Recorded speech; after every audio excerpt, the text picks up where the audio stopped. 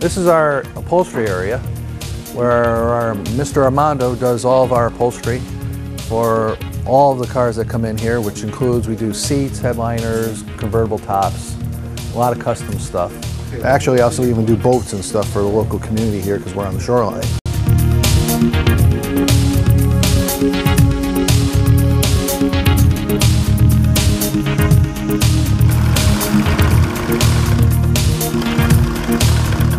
We also are an authorized LeBaron Bonney installer, so we install LeBaron Bonney kits also.